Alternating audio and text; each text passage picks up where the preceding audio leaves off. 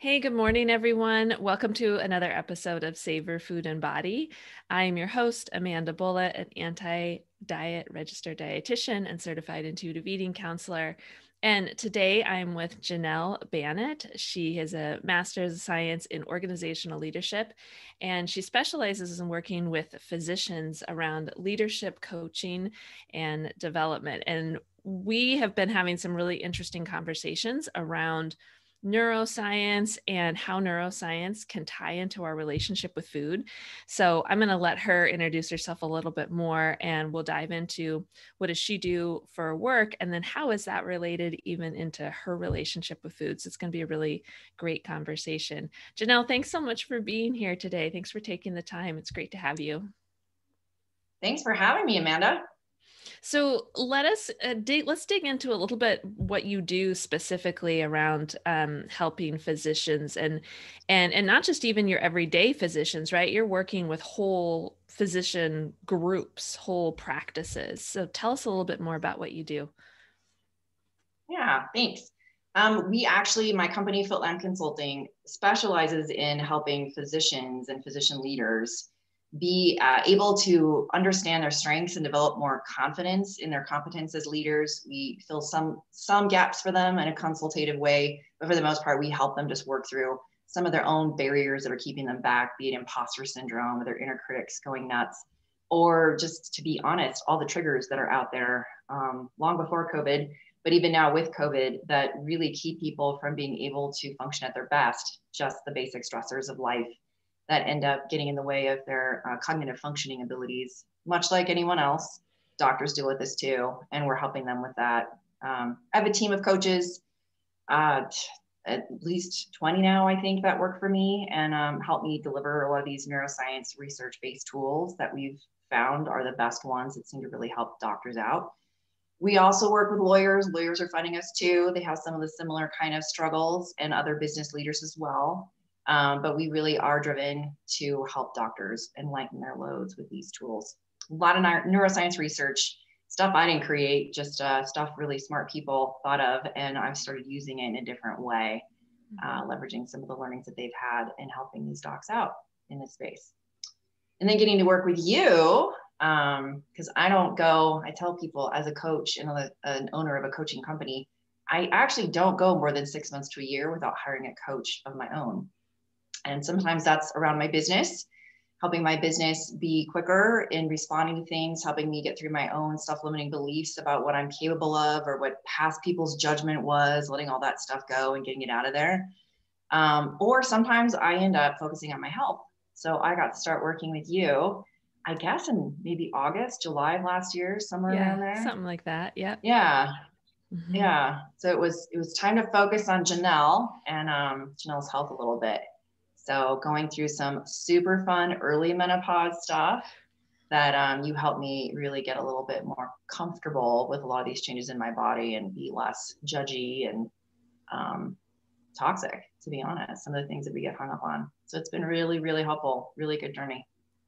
Yeah, I think what you said, we don't often give doctors enough credit for all of the stresses that they go through. I mean, and even some of those other, you know, major leadership type roles that we think of as a collective society and the amount of pressure that they're under. And even when we think about something as basic as feeding ourselves, but when we've got so much other stress in our life or we're amped up, we're dysregulated, that's a term that gets used in in at least my end of this work. I don't know if that comes up for you and reading the neuroscience too, but um, it when we have all of this other stress, either from work pressures, uh, then it becomes hard to feed ourselves or hard to get in touch with what is our own innate wisdom, which is so important around food, and just helping you move forward in life in general. And through the conversations that you and I've had, it, sounds like that's what's similar to the work that you're doing with these professionals is just trying to help them like get back into their body, get back into their embodied experience and recognize like, okay, what's a real threat? What's a not as important threat like how can we prioritize these things so that you can learn to take care of yourself? And whether that's from getting more sleep drinking some more water go moving your body or eating on a regular basis. I don't know how many clients that i've had that would also probably likely be clients of yours too that are running at such a high level that they're like oh lunch? What is that? No no there was some grabbing of this and that and by four o'clock in the mm-hmm. afternoon we're starving and we wonder why we ate the whole box of crackers and the the whole log of cheese or whatever the whole bottle of wine. And not that having as much of that as you want is a bad thing but they're recognizing that that's happening because they're so checked out and they just didn't feed themselves throughout the day. So yeah. And then the guilt associated with that because all of the things that get made up about what they're doing, what we're doing to our bodies when that kind of things happens, and what is this doing to my health and um, my work with you, to be honest, having been in healthcare for 30 years in multiple roles, I've been very strongly exposed to the research that's been out there about being uh, heavier in weight is actually really unhealthy. So that was a big part of what I needed to help get undone. Um, and your your leadership towards getting me aware of a lot of Lindo Bacon's work um, at Health in Every Size and Body Respect and all of the research they put together in the space that actually negates a lot of what we all have learned is true was really fascinating. I mean, that was just such a walk down a road of cognitive dissonance. It was almost painful. And I, if you probably remember, I fought you on it on a few times. it's like, no, that's not right. Um, really good uh, coaching and counseling going on here, which has been super helpful. So yeah, that that is that is strongly guiding physicians as well. And I don't even talk to doctors about their food intake or their body image or um, any of the things that you discuss. I mean, we talk sometimes you know, girl to girl or something about, oh, and I'm having a hard time because I, I, don't have time to pee. I'm barely even having time to sleep and I'm eating like crap and I'm starting to feel like shit. And I don't really appreciate this, but I know it's it's not good and I'm I'm not being healthy. And just learning that some of those additional stressors are unnecessary. That based on the research, now you're not necessarily actually becoming more unhealthy um, you might be giving your body what it needs at this point in time, and that's just fine. So there's, you know, all those additional stressors we put on ourselves mentally because of the threat state that gets caused by all of the hangups and the toxicity of the diet culture that we've all been raised on is probably causing us more harm than anything we're actually putting in our mouths. And that's been a big aha too. And knowing what I know about stress and what it does to the body in every other aspect of um, how it functions. It is it has been pretty interesting to see this whole other side and angle of things layered on top of what I know.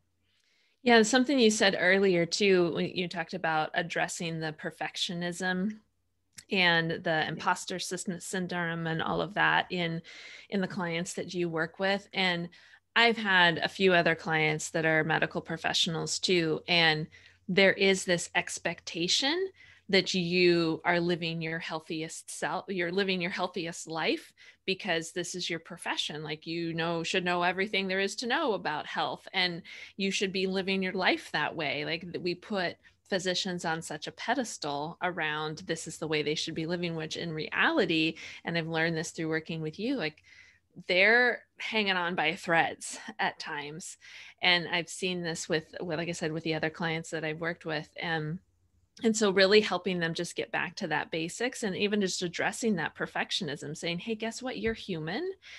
And recognizing where that perfectionism mindset comes from. And when that sometimes that mindset is fueled by all of that other scientific evidence that is more weight centric and is pinpointing towards this is the way to eat and this is the way to move your body, um, which, as you and mm-hmm. I've talked about, a lot of those studies don't have longevity to them and don't have follow through. And so that's where the holes lie in making recommendations based off of those studies. But that's what they're taught. Just like you said, that's what you had been taught for 30 plus yeah. years. Like that's part of that culture. And so I imagine you know someone kind of came in and challenged a doc on that like flipped that their their ideas on their head like talk about another stressor oh my gosh. I'm wondering if you can um dive in a little bit to like what have you experienced? Like you mentioned threat state and i know that was a big aha that came up in one of our sessions. Uh, i think it was after i told you to do the work. We, yeah probably like you said i challenged you on it a little bit and and it's true like you have to get in and just like like start doing this work.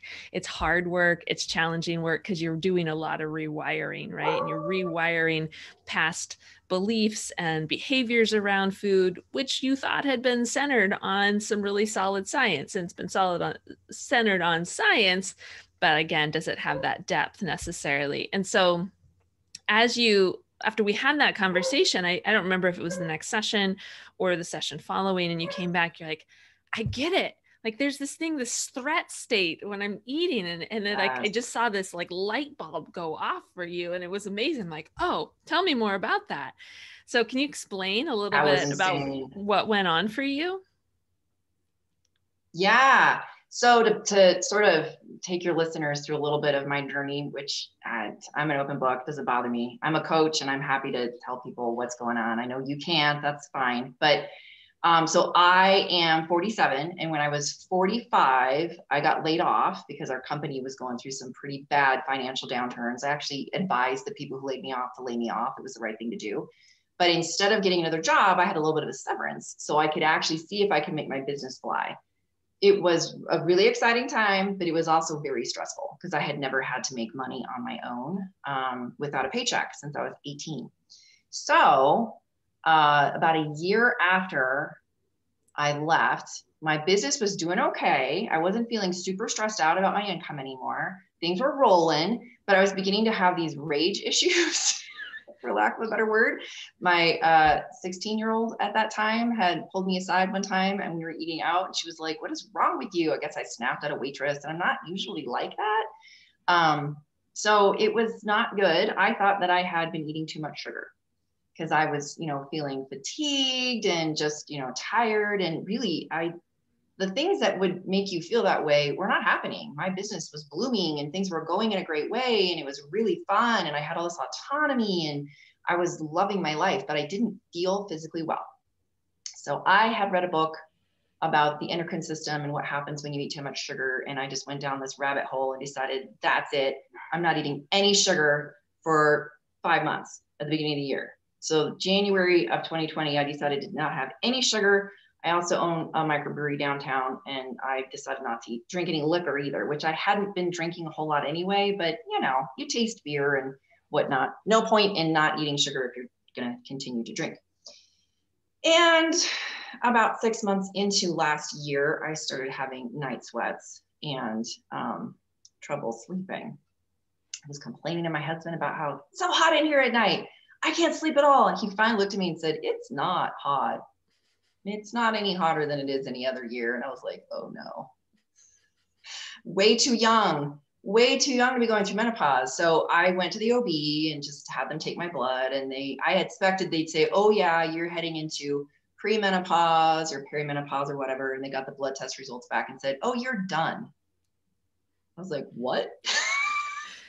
you're done you are done with menopause. You were done with menopause last year. So when I was having those rage issues, apparently I needed some hormones. So um, I had kind of gone down this road of not knowing I was getting into menopause. I was using a birth control that basically made it so you didn't have periods. You didn't even notice any of that. TMI for your listeners, but all the ladies understand this. So I was very surprised. And I was also excited, sort of seeing that I was putting on weight, but it was the year of COVID. You know, everybody jokes about the COVID 19. And I fully embraced that. That was like, oh, sure, of course we're going to gain some weight. That's understandable. I'll just do a cleanse like I always do and get it all off. About twice a year, I would do a cute little cleanse. And that's how I managed to keep my trim little figure.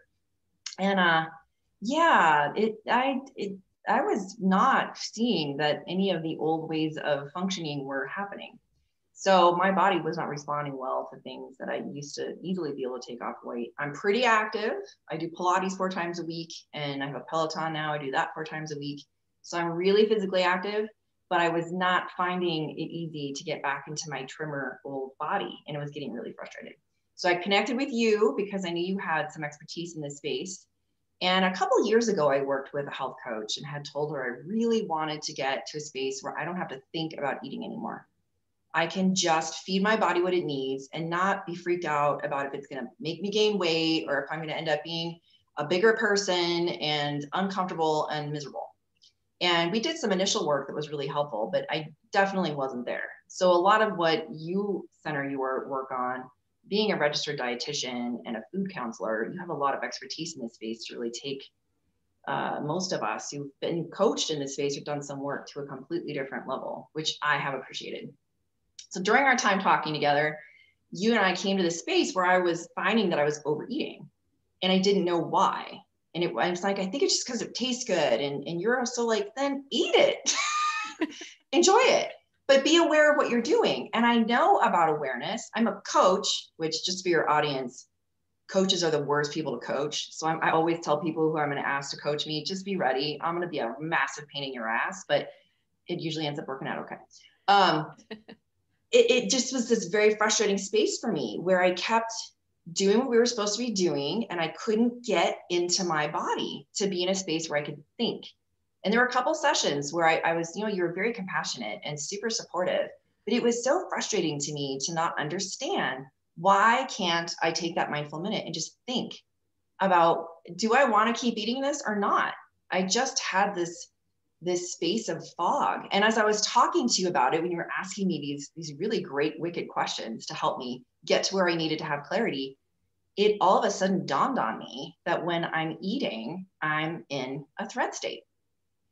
That the prospect of having food in front of me in this heavier body that I wasn't enjoying at all um, was was sort of like reinforcing this concept of me getting heavier and being more unhealthy and all the other stuff that we associate with being heavier, you know, being judged as a professional, as not having your stuff together, and a lot of the things my physician clients deal with, male and female. So all that stuff is kind of going through your head, but it really kind of hit me hard that oh, that's why I can't think. I coach people about this.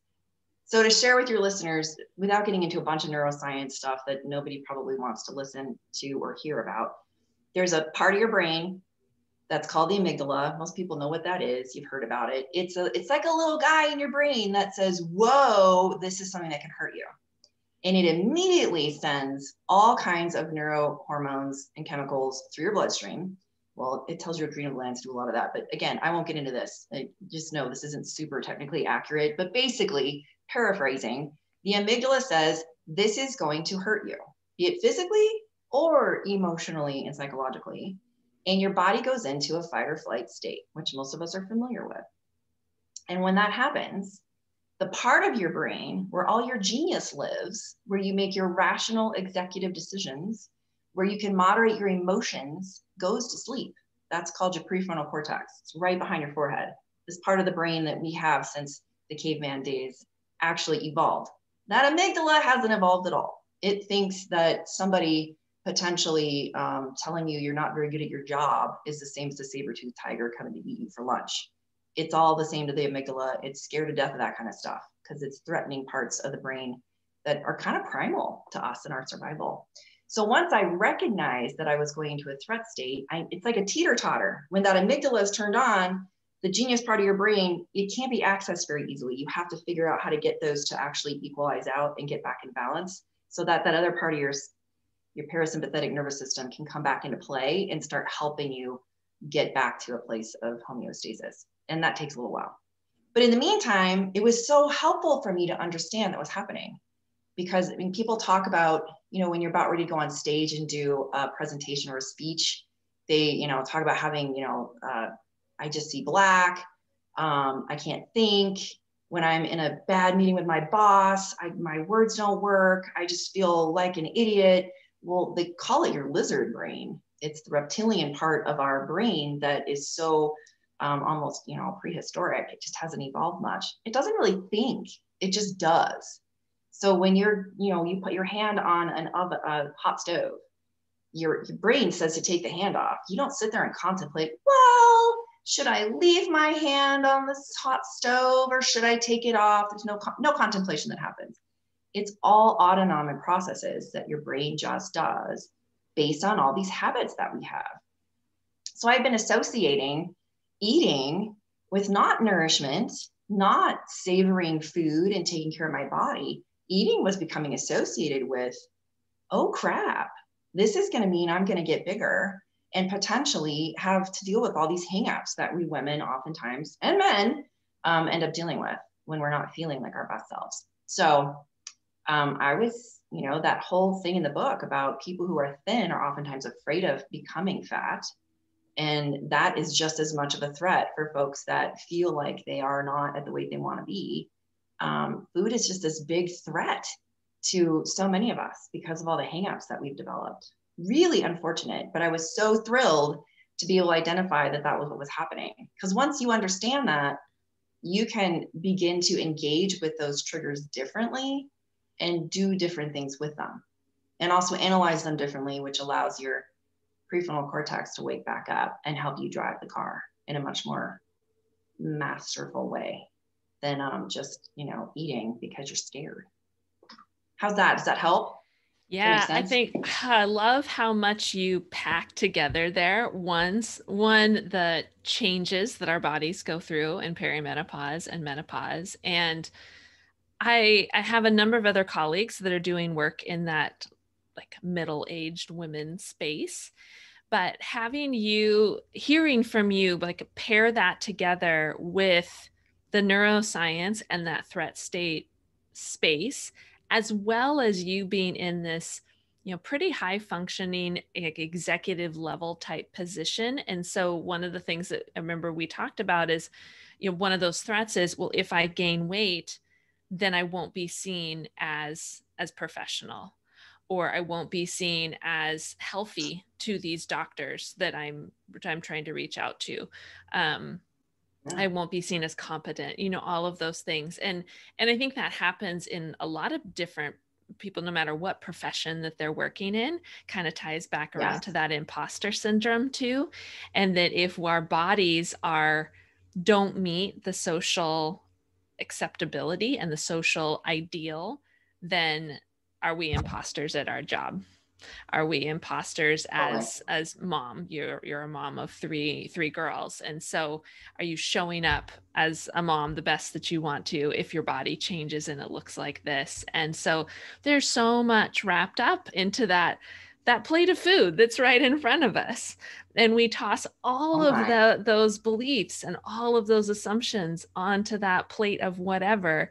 And so you're right to be able to to put that connection around like oh this is what's really happening. I'm really scared of the weight gain based on your internalized weight stigma and your internalized fat phobia that you have about yourself. And and i don't think that we're getting better about talking about that part uh, you know the weight stigma and the internalized fat phobia but in pretty small circles but even mm-hmm. people mm-hmm. like you said people that are have thin privilege are in smaller bodies there's this pretty big fear this pretty big threat of what will it be like if my body gets bigger and that's because as a culture we put so much negativity on people that are in larger bodies and we make all these gross assumptions around their uh, their ability to work and their ability to take care of themselves and all of this other crap that we just make these assumptions that because someone's in a larger body they don't they don't take care of themselves or they're not worthy. Yes. That's really what it boils down to. Lindo Bacon goes into that as you as you've read a lot in her in the book Health at Every Size and Body Respect with Lucy Aphramor. Um, and I've just started reading a little sidebar Radical Acceptance, which is Lindo's new book. So and add that to anybody's reading list because it takes this where health at every size and body respect those books are directly centered on this um, weight stigma fat phobia um, kind of the flipping the research, the health research on its head, so to speak. Radical acceptance goes even broader than that to just talking about acceptance for all bodies, all genders, all sexualities, all colors, ethnicities, all of that, and was really getting into connection and how important it is for us to feel connected as humans and feel seen as humans. And without going into a lot more details, but there were even some parts in the book that were also coming back around to this threat state of when you're not connected or when you don't feel seen. Yes. And and I as I was reading it, I was like, oh whoa, like she's talking about relating to other humans but what about if humans are relating to their own body and if they don't feel like, you know, their mind can't see compassionately their body? What is that going to do to how they're taking care of themselves or how they feel like they can take care of themselves? And, you know, there's nuances around that, of course, and, and tons of privilege nuances that come into that too, and agency and all of that. So, again, that could be mm-hmm. almost a whole nother a whole nother show just on that book for sure. Um, but I love how you brought all of those pieces together. One of the classic, oh, my body is changing, therefore I must go fix it. I feel like crap. I must go fix that. That's what our oh, culture oh, yeah. says. That's says that you know you have all this empowerment to go fix this, and where we do, for the most part, have empowerment to go take care of ourselves. Yes, that's true. But there are things that your body's going to go through in your life whether you like it or not. And especially as as women and with the way our biology is designed like and and men go through their version of this as well. I should also mention that but bodies just in general are going to change over time. They're going to go through puberty and there's going to be a shitstorm of hormones there. If a woman gets pregnant, they're going to go through a whole shitstorm of hormones there and body changes and then on into perimenopause and menopause. And so we cannot fix that.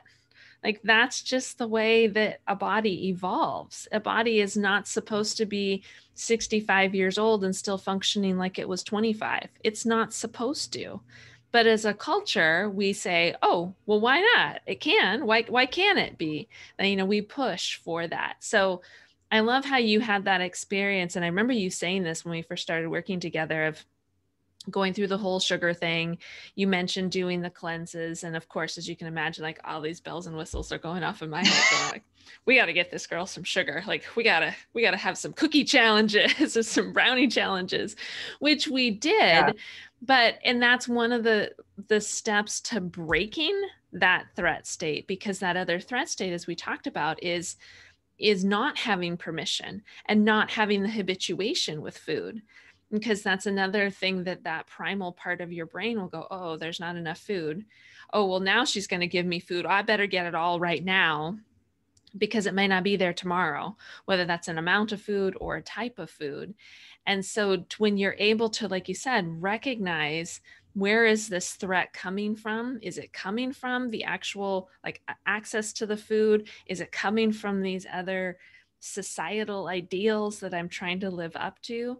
Is it coming from just the discomfort of my body's changing and I don't sleep well because I'm hot and then I'm cold and then this and then that and my kids piss me off? Like eh, there's so much that comes together in in this space of being middle-aged women especially and to be able to identify that and normalize well part of our responses is biology and is neuroscience i think is just such it was a brilliant moment for me too it was like this aha moment like yes that's like you put language to everything that i talk about with clients and what their experience is like and like why do i feel threatened by this plate of whatever. And why do I not feel threatened by, we'll just use some food examples here, just purely as example, but why do I not feel threatened by a plate of salad? But I do feel threatened by a burger, fries, and a brownie. It's mm-hmm. all, and I think you and I had this conversation going, it's just carbohydrates, protein, fat, yeah. got some antioxidants thrown in there on both plates, uh-huh. by the way. I think we had this conversation around brownies and said, Janelle, it's just carbohydrates. It cookies. cookies. it was chocolate cookies. Very fascinating. That whole food equal morality discussion around the, the anti-deprivation work that we did because I had been dealing a lot with deprivation in order to stay slimmer. And I'm not even like a very big person in general. I'm tall and I exercise a lot. I have a lot of muscle and I feel really good. But I, that extra kind of weight over that, you know, we we tend to make up a lot, I think, in the society that if we eat whatever we think we should or our brain tells us we should, we are going to become these, you know, morbidly obese people that have to be craned out of their homes that we see on TV. And that's not accurate. I, I mean that, but there's some some stuff in there that really can kind of freak us out. So yeah, when I was on this this this trail you brought me through where we really needed to do some anti-deprivation work where things were not off limits to me because um, you had explained to me, of course, you want to eat all those cookies. Your brain is wondering when you're going to put the next cleanse in and give it another cookie famine, which I thought was hilarious. Um, but that made sense too. It's like that anti deprivation, the caveman days of those primal instincts of starvation. It, the brain doesn't know how to understand that no we live in america none of us are you know most of us i shouldn't say none of us these days but a lot of us are not going to have to worry about starvation so it was it was a a really cool way for me to understand um, what was going on there. But um, those those cleanses have set up a pattern of every six months we go back on a cleanse and then we reboot. I used to call them reboots because I would get my little habits back in check and I would start eating clean again. But why did I always end up back where I was? If that is the way that I was enjoying living, I am a mom who loves to bake. I have three daughters who and a husband who also loves to eat all the stuff I bake. And that's a big part of the relational aspect of living in this house is mom bakes. And so I just it always just sucked to me to not be able to do that and not be able to enjoy those things with my family, which was a big part of us just enjoying life is chocolate chip cookies. I make the best chocolate chip cookies. So that was a big piece we had to kind of reframe. And a lot of the ladies I talked to in my peer group and um, friends who are a little older than me by about 10 years, I'd say most of them have been through menopause and they're in their 50s, had told me, Oh, yeah, I noticed right away I would start packing on weight if I ate. And I'm like, What do you mean if you eat? And uh, many of them would tell me, I just don't really eat anymore. I kind of just, you know, I'll graze a little here and there, but I don't, I can't eat more than one meal a day. If I do, my weight just shoots up. And these are people like me who work out all the time and exercise well, not obsessively or anything, but they they know it's it's healthy. It makes you feel good to stay active, and they eat okay, um, but they just don't eat much. And it just it just began to dawn on me. I don't want to live like that. I don't I don't want to live like that. And it, and so some of those those triggers that were coming into play that were putting me into a threat state where I was feeling like, oh no, these big fears of becoming heavier some of the stuff you mentioned that we make up about what other people think of us. I mean, the the physicians I work with are lovely, and they they do not tend to judge. From what I can tell, they think I'm just amazing, and they're they're super great, and they judge themselves a ton. But you know, there's leaders who I'm contracting with, who I talk with, who are like, "Oh, looks like you lost some weight." So then your brain goes, "Oh, they notice whether or not I weigh more or less. You know, they're trying to give you a compliment. They're trying to be, you know, kind and empowering or whatever, because they're on their own weight journey. That's what it's really about. But in the back of my brain, you know, there's these little stories running. Oh, you better look like you got your stuff together if you want to be seen as a credible contractor who can actually um, speak to what you're doing. When really, the size of my body has nothing to do with the way in which I coach it has nothing to do with the intel and the subject matter expertise that I have developed over the last couple decades in this space. It's just an additional narrative that's rolling. That's just a distraction. So yeah, I mean, and I can share with you some of the tool if you want me to. What do you think? Yeah, yeah. Let's dive think? into that. The scarf, isn't it? Scarf tool. Yeah, just the scarf tool. Yeah, just yes. like your lovely Again, scarf that you're wearing. All right. I've got my scarf on, looking looking dapper.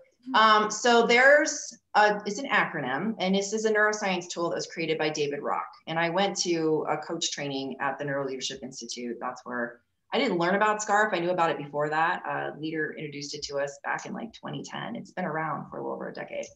Um, but we learned about it there in the in the aspect of coaching and how you can help your clients really relax that amygdala part of the brain so that you can access all the creativity in that prefrontal cortex just by simple little things you're doing while you're coaching. And it has to do with just an awareness about these five areas, but it really plays into us as humans and how we interact with stressors and triggers in our lives based on what our brain is telling us is dangerous.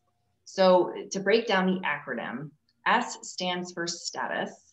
So anytime, and these are all these are all psychological and emotional threats. So not you know getting hit by a bus or something that's physically going to harm you, which we tend to all associate with fight or flight. We go into fight or flight when we have psychological or emotional threats too. So status is the first one, and that talks about, you know, it, it's a little bit about folks kind of associated with, you know, do I have a pretty a big house and a fancy car, um, where we can be more showy, where we're we're comparing ourselves to others, and how do we measure up? And the brain does love to compare. And I tell my clients all the time, comparison is a thief of all joy. It does not bring you anything helpful, but the brain does these things as it's part of its organizing principle on whether or not something's good or bad. So status kind of gets to this very primal space for us about credibility and whether or not we can be seen as someone who is trusted to be able to perform and do our job well. For physicians, there are status threats all over the place in their work. They have all this subject matter expertise to consult. And if some patient comes in with their WebMD, um, you know, thing they they rolled off about, well, my my my web search says this, and these physicians are like, great, um, you know, there's there's a lot of that going on, which they're managing. But in the leadership space, they're oftentimes having to deal with, am I good enough to lead these people? Because I've never been taught how to lead. And all of us as leaders learn how to lead by leading. There's not really some magic class you can go to. I don't care how many MBAs you have, you're still not necessarily good at leading. Um, it's just a real big trial and error space. So those status threats of making mistakes and being able to continue to move forward and learn from them is a big one for them. But we as humans are always going to feel threatened by anything that makes it look like we could lose our job. And that's a lot wrapped up in status. You're not good enough, you're not competent, you made a mistake, which is great. That's how we learn, but we don't oftentimes have the, the growth mindset to be able to apply that. So that's status. And that kind of comes back to like Maslow's hierarchy of need. If you think back to your Psych 101 class, the base of that hierarchy is shelter and food. And if you feel like you're going to lose your job, your amygdala is basically saying you're going to go live in a van by the river and no one's ever going to want to hire you again. Your kids are not going to have a roof over their heads. No one's going to have shoes. And these are things that are very irrational, but they're kind of happening in the background on a bit of a subconscious level. Super hard on us as humans those stressors can do things like throw you into menopause really early. so I like to tell people don't minimize the things that physical stress can do to your body when yeah, you don't really need to reproduce in this environment. We can be done with that. Um, those things are real. They're physical and they manifest in ways that are actually pretty harmful to our nervous system and lots of other things. So that's status. Anytime we have an interaction with someone that leaves us feeling less than positive or neutral about those kinds of things can alight that amygdala and get that part of your brain going that makes you get into this place you have cortisol running through and adrenaline running through your bloodstream that your brain thinks you're about ready to run or kick somebody's butt and you're not. It's the same physiological um, situation that you end up in though. So that's S. C stands for certainty. Big one this last year. I don't really have to talk much about that. Anytime the brain cannot predict something or have the ability to forecast what's coming down the road. Brain doesn't like to be blindsided, and um, you know, folks have different levels of sensitivity to each of these five areas. I would say some of us are much more sensitive to certainty threats than others, um, but that is a big one for the brain. The brain, everybody needs to have some semblance of normalcy, predictability, the ability to to be okay with what's going to happen down the road. Some of us do much better in change situations than others. We kind of like the change and the variety. Other people are paralyzed by it. So recognizing that that can be really hard on folks, no matter how much we say, be resilient, figure out how to adapt. Those are all great qualities, but that's not really the reality of most people's situations. They're living in a space of this threat state on a daily basis over the last year. And for some, it's been longer than that because of other triggers that are, you know, going through our brains with all the stuff that's going on in the world. So that's certainty. A stands for autonomy. That's a big one for me. So anytime we are being, we are feeling like things are being done to us or we don't have choice. Um, some people use the word control, and I would say that's that's valid. But a lot of people who get triggered by autonomy are not necessarily controlling people. Um, they just want to be able to have the the opportunity to have agency over their lives and what's happening. So that's a really big one for physicians. They do not have a lot of autonomy over the choices they get to make in their diagnostic decisions because they now have to think about well, is the insurance going to cover it? is this something that from a financial strategic initiative i'm really going to be supported to to prescribe or leverage or not? So there's there's autonomy threats all over the place in healthcare for physicians and there have been for some time. So this is the kind of stuff that's that's really getting them to a place where a lot of them feel like they're trapped they are a bit hamstrung by a lot of their student loans which are insanely high especially for medical school and if they get into a place where the work is not a great fit for them, it's kind of too late. So that's a big reason, among many, many other reasons, why a lot of them are burning out and committing suicide at higher rates than any other profession, as something around 400 per year um, before the pandemic happened, which is just, it's so, so sad and insane. So once you recognize what some of these triggers are and where they're coming from, we can help these physicians actually interact with these triggers differently so they can um, do things about them to have autonomy again. And that settles that amygdala space down and they don't feel like crap as much anymore. It's actually much better. So that's autonomy. R is relatedness. That has a lot to do with the brain's organizing principle around is someone different than me or the same as me? There's a little bit of that implicit bias stuff that comes into the brain there where people see different as bad or threatening which we can all undo in ourselves if our brain has developed those kinds of neural pathways that we just need to build new ones over them if that's where we are. And we do work with folks on that too. But you know, it's also about whether or not you're able to maintain harmony with your crew and um, the people around you. And that that is a big trigger for folks who are feelers. Um, really humans in general, but many people who are leading who really need to address folks and their behavior that's not serving anyone well really hard to do that for the fear of a relatedness threat. If that person decides they're going to hate me now, now I'm going to have to work with them and it's going to be weird, or they're going to go tell other people that I'm terrible and I'll become ostracized. So that relatedness threat is primal too. That goes back to the caveman days when, you know, if you were ostracized from the clan, you didn't get to sleep in the cave, you died of exposure. So, kind of back to that deprivation with food stuff, a lot of this stuff that the brain's doing makes sense. That amygdala is doing what we paid it to do is trying to keep us safe. But in the risk tolerance space of helping people it also keeps you small which is not what most people are here to be is small. So keeping that in mind it's a normal process. All of us have to deal with this. It's very predictable. So the last one to wrap is f and that's fairness and fairness triggers run amok for us as people individually when things are being done to us that aren't fair um, you know, we, we associate fairness with kids a lot, but quite honestly, most corporate cultures I have come in contact with have a pretty strong trigger when it comes to things not being done fairly and for understandable reasons. Tons of this work in uh, racial inequity, when you're talking about other groups of people that you may not even personally associate with, you can become very triggered by this depending upon where your values are and what you are aspiring to make the world a better place around. If you're highly altruistic, you can have big fairness triggers when you don't feel like people are given the opportunity to excel.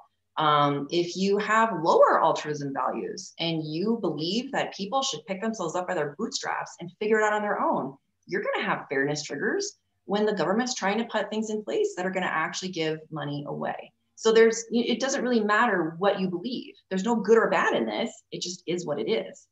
There's just different ways that people are going to come at things based on what they value no judgment it just is what it is so that's a big that's one of the tools that we leverage in our programs for doctors that are all that are based on neuroscience that is that has been pretty helpful for folks to be able to compartmentalize things differently and see that there's ways to actually make things um, better for themselves in the way in which they interact with those triggers. Yeah i love what that I leave tool. Out?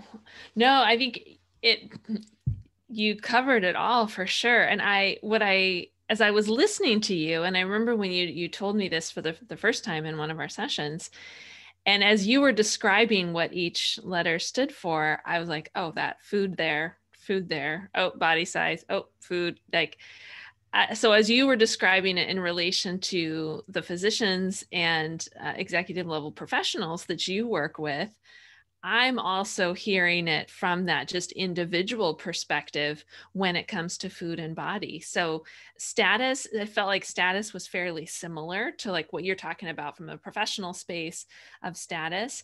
But just like we mentioned earlier, you know, status around body size, status around youth, versus getting older status and you know in appearance along those lines especially um, i see it more played out in women but i i suspect that men are not immune to this either as they age.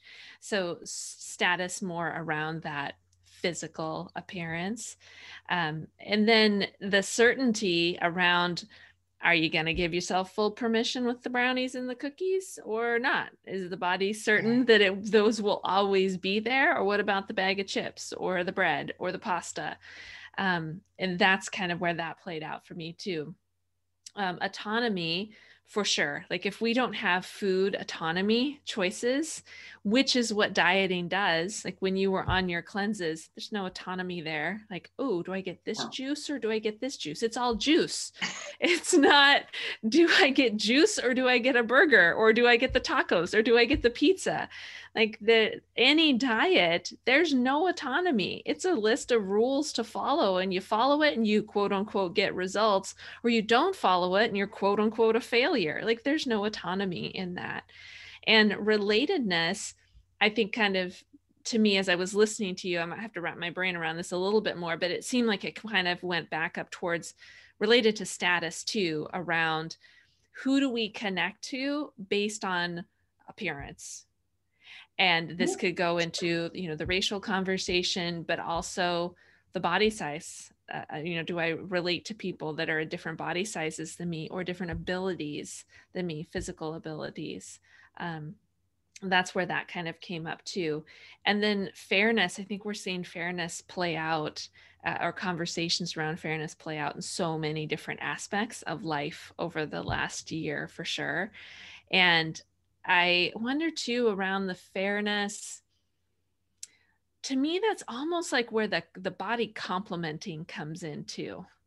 You know, that if someone gets a compliment because, like you were mentioning, you had lost some weight after one of your cleanses and you receive this compliment, okay, well, how is that being fair to the persons whose body is exactly the same and they've still been trying to do all these things to take care of themselves, but their body hasn't changed. So why is that is that fair for you to get like this almost elevation in status because your yeah. body has changed versus someone that is just might be perceived as just going along through the motions and they don't get recognized or they don't get complimented whatever. Or worse if if their body has changed the other direction and they've gained weight do they get shamed around that? What's the fairness in that?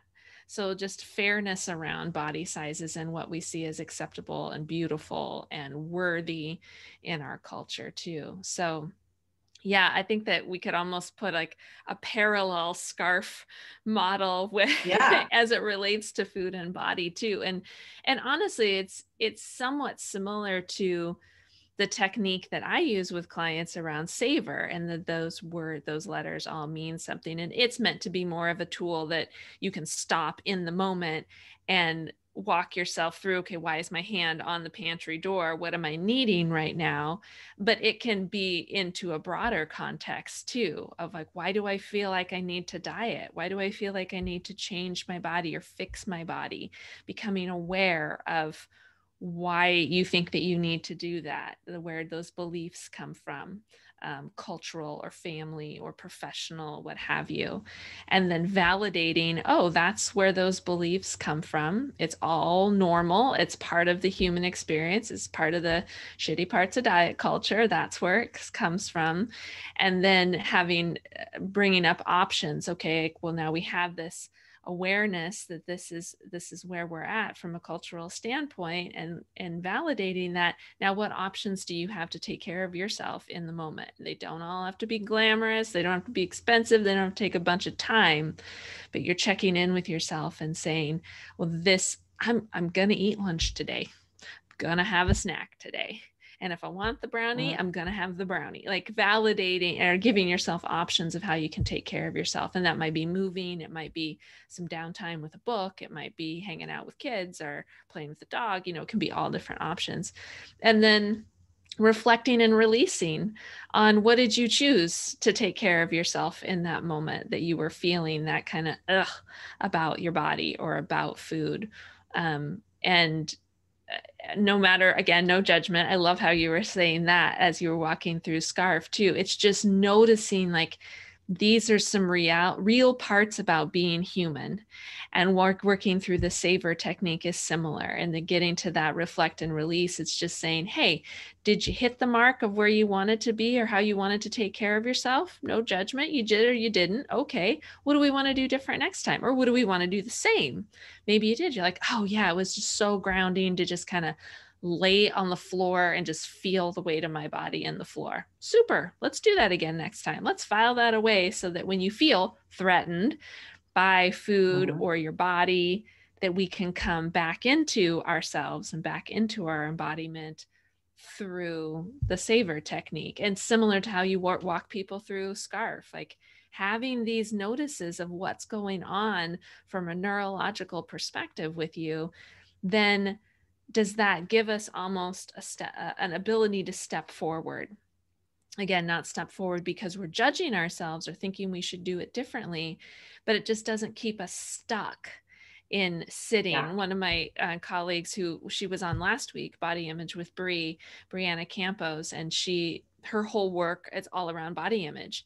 And we talk so much about sitting in the suck. And you have to sit in the suck of of not liking where you are in order to to move forward you have to have that validation and that awareness of like oh i'm here and why am i here? Oh cultural ideals or professional ideals or whatever. Um, so we have to recognize where we're at but the hope would be that you don't sit in the suck for forever you know sit there as long as you need to but you know as humans we like to to hope that people can get out of that place because it feels really awful to be in that space. So, what can we do to help all of ourselves help us get out of the suck? Either as just supportive human beings or coaches or um, nutrition counselors like how do we how do we help all of everybody involved in this diet culture society you know move forward with their lives. So I, I, am so excited to learn more about scarf and you know from that those the bigger picture scarf which relates to any incidences in our life like you said any related threat mm-hmm. states but then how it can even tie even more into food and body. Because when you were mentioning that for the first time i was like oh hey now what is this? This is some new continuing education right here for me. I got to learn some more yeah. about this. This is really a cool cool model. Um, and i just see it over and over again in all of my clients like where they might be in the scarf model and i'm almost wondering too like noticing where someone is in the scarf tool and then being able to apply savor in the moment to get them out mm-hmm. of that state. I don't know. That might be something worth right, possibly poking around. I with. mean, I've I've I've enhanced my understanding of that tool just listening to you because I had never applied it to this space before. So, and, and I mean, we talked about my hangups. Really, a big part of what was putting me into a threat state was lack of certainty when I had a plate of food in front of me about me being healthy because I lost my dad when I was 15. He was 49 of a heart attack and he was super fit and thin. Um, so I just always kind of felt like I have to stay healthy or else I'm going to die. And that's a big part of the certainty you gave me was the research that says, no, there's like zero correlation that's actually valid that says if you weigh more that you are unhealthy. I mean, there's other factors that come into play. And that that was a, a certainty reward. So on the flip side of all these threats your brain also is able to take in rewards at each of these spaces um, but i won't go into because we don't have time but that was super super helpful for me. And all the autonomy re- rewards i've been given through your work in this anti-deprivation space where now i was talking to a friend a couple weeks ago who's super you know really wants sugar all the time and is feeling bad about herself and i was like yeah i don't I got to tell you, after working through this, like I eat it, but I don't crave it anymore. I mean, it's not just hormones. I've had sugar issues my entire life um, because it's just, I know I can always have it. It's not that special anymore. I still like it, I still enjoy it, but there's so much autonomy in this space that really thinking about living my postmenopausal life, which is probably another, you know, what, 40, 50 years, I would just have to be living in deprivation in order to be healthy, meaning thin, um, was really, really hard to stomach. So you gave all of that back to me without even understanding this tool. Like I get it and I'm able to compartmentalize it in different ways. It has really helped me move beyond the space of rumination to a place where I feel empowered and um, less likely to be all worried about my body. Yeah, and I I don't think we give enough uh, credit to our the sensitivity of our bullshit meter as we go through perimenopause and menopause and i was just at the, the doctor the other day and we were chatting about hormonal stuff because i'm in that space now too and and i was we were talking about that rage aspect and she goes you know having a sensitive bullshit meter is not a bad thing. Like she was trying to talk me out of, she's like, I get that, yeah, okay, we want to try to be compassionate and take care of ourselves and, and not lash out at the waiter or the the grocery clerk or our partners or our families, whatever. She said, but there's also this somewhat beauty when we come into this stage of middle age and saying, like, that's bullshit. I'm not going to live my life like that anymore. And like you said, when you have these 40 or 50 years more of, of living post menopause, then why would you want to keep living with only eating one meal a day? that you only you only no but you know again that ties back to like well, you know why are people doing that why are women doing that is because they're so afraid of gaining weight they're so threatened by gaining weight because that's what our culture says. They're, they're threatened with getting old too. Um, you yeah. know, so, but just being able to recognize that and go, oh, this is why. Okay, do we want to stay in that space? Again, do we want to stay in that suck of feeling like you're always on the edge of like, I got to stay in control of this? Or do you want to enjoy some food with your family and have connections because all of that's pretty fleeting? Is that Mm-hmm. Do you mm-hmm. really want to be dodging that for the next 40, 50 years? I don't think so. I don't think most people do. Yeah. No, and as it turns out, we're not going to turn into, you know, thousand pound people um, because we're listening to our bodies and actually giving it what it is looking for. That I have actually, I'm not gaining weight. It's very stable in this space, which is totally counterintuitive to what we've always learned my set point changed when I went through menopause. It doesn't really matter what I'm eating. My body is metabolizing it and doing what it needs to do. It, it's kind of fascinating, actually. So you, yeah. you've helped me tremendously with that. And I'm much more accepting in this space too. I don't stress out about these things anymore, which yeah. is lovely. And that acceptance too of even if someone did become that thousand pound person that has to be you know lifted out of the house by the crane you know those terrible reality TV shows that we say, which is so shaming to people in larger bodies. Yeah, absolutely. Is having that acceptance around like, even if that's what my body did, even that's what if if it, that's what it's decided to do through giving it its autonomy, I'm still a worthy human being and I still deserve respect and I deserve, still deserve to be considered a professional or worthy of love and all of those things. And we have to have that level of respect and acceptance for all body sizes in order to continue on with our own internal um, journey and wrapping it around how yeah. bodies change. Because the truth is, we don't honestly know how bodies bodies will change. We start to know more about like some of the hormonal pieces, but you could get injured and then have to be on some type of medication and the medication changes your body size dramatically i mean there's Absolutely. so many different things that can happen in our lives through the human experience that can cause body changes so we can we can just be open to yep here's my body today i don't know what it's going to look like tomorrow but i'm open to taking care of it and showing up for her as best that we can so this has been such a great, just, great I, I conversation. Like, no, I know, but I feel like we make up that that's not the case. That if we use intuitive eating, that's that whole I'm letting go, I'm letting go of everything, I'm not like taking care of myself. When in reality, no, it's actually it's lessening a boatload of stress that was running through your veins before that now I don't feel like I'm in a threat state when I'm eating food anymore. And, and that's, that's what you're letting go of. You're letting go of the threat state. And so when people come at you with those comments of like, oh, what intuitive eating? Oh, like that's just, you know, really letting your body go. I'm like, yeah, I'm letting go of being threatened by food. Like, why wouldn't you want to let go of that? It's ridiculous. But yeah, yeah. Yeah. Um, if people want to learn more about your work, um, the work that you do with executive professionals, and even just a little bit more about like this type of neuroscience, where can they find out more about what you're doing? Oh, well, we can be found at footlampconsulting.com, F O O T L A M P consulting.com. That's our website. It talks a little bit about our programs, our signature programs for physicians, as well as other business professionals um, we can be accessed that way. We also do a gratitude practice email for folks if they're interested. It's it's a Monday through Friday email. It's my three good things that I send out every Monday through Friday. And you don't ever have to open the email or interact with it, but it helps you remember to stop and think about what's going well. It's a little appreciative inquiry, you get some nice dopamine and some serotonin, which we could all use. Um, so that's an easy way too to just kind of get onto some of this movement and move forward.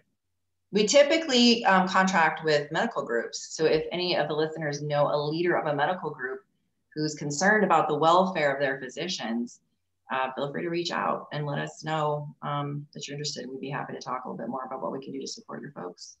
Yeah, that's awesome. And I love your gratitude emails. I think they're just they're great. They're just short little nuggets and like you said it causes people to stop and get into the present moment. And particularly if they can read them, like one of their first emails of the day or something like that, I feel like it can just set the tone for for a day, which yeah. is really cool. I'm so glad you're doing that. It's awesome. Thanks. Super. Well, thanks for being here, Janelle. It's uh, always great to chat, and I, I, think we could have we could have many more conversations and, and many more uh, little nuanced uh, episodes here and there. But thanks so much for being here today. I appreciate you taking the time, and we will chat again soon. Well, thanks for having me, and thank you for the work you're doing. I'm actually really thrilled to have you on our team now as well, so we can offer your services to physicians and other leadership professionals that are struggling in this space because I can't help them with this stuff, but boy, you sure can. So thank that, you. That is a true honor for sure. I'm excited to to be able to do a little bit more with your folks and hopefully help them like just enjoy their lunch in the middle of a crazy busy day. Like, can we just have lunch? Maybe that'll be my tagline as part of your coaching staff. Amanda just wants you to sit down and have lunch. yes. Amanda said eat lunch, please. yes. Yeah. All right. Well, we will see you all again soon. Thanks so much for tuning in and listening. And we will catch you on another episode. Take care.